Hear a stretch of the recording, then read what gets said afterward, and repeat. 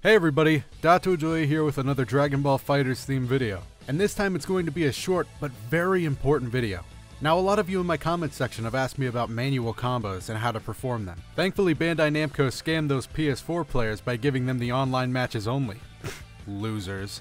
Us Xbox players get to play around with these bots. So I thought I'd take this opportunity to teach you the first manual combo you should attempt to learn during your time with Dragon Ball FighterZ. So you'll see while I'm loading in here, because I don't get to pick the characters I play with, I got pretty lucky and got Beerus, Vegeta, and Goku.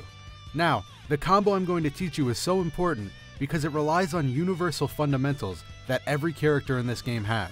So basically what that means is that if you learn this combo, you'll be able to perform a decent combo with any character in the game regardless of who they are. And yes, these combos do more damage than auto combos, and they also serve the purpose of teaching you the fundamentals so that you'll be able to build your own combos in the future. So now that we're all loaded in, keep in mind that I've never played Beerus before, and watch the combo I'm able to perform using only basic fundamentals.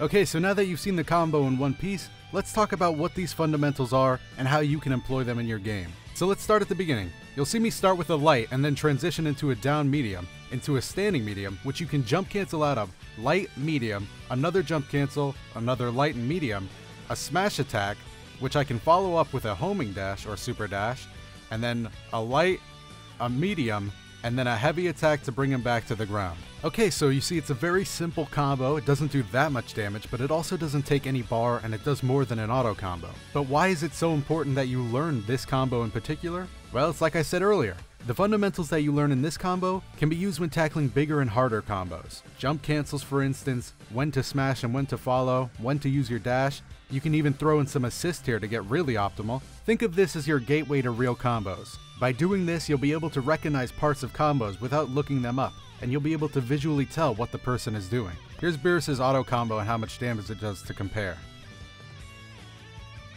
But like I said, this combo is also pretty universal, so now I'm going to show me you doing it as Vegeta. Again, same principles here, doing exactly what I did as Beerus, but this time adding a Vanish and a snapback, so you can use it to get in a character that they might have swapped out with. Here is me adding on a super to the combo.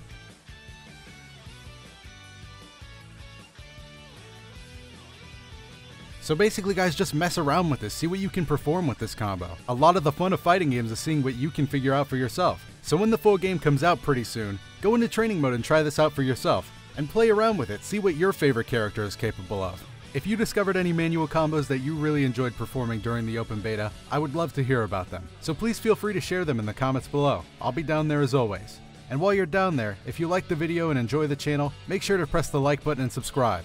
I'm Doto Doya, and I'll see you in the next one.